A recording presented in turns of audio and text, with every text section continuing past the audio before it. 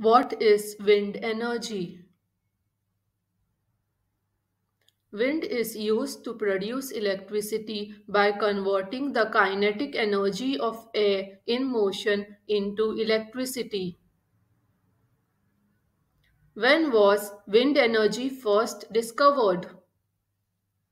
It is believed that Professor James Blyth made this groundbreaking discovery in 1887.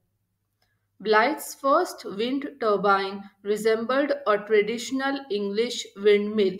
At its center, a wooden stem towered 33 feet high, anchoring four canvas sails, each 8 feet long and 3 feet wide.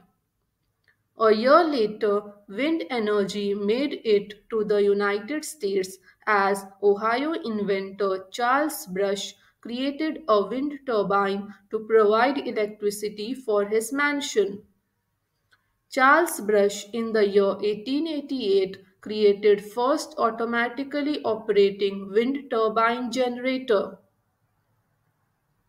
Examples of wind energy. Pumping water that is wind pump.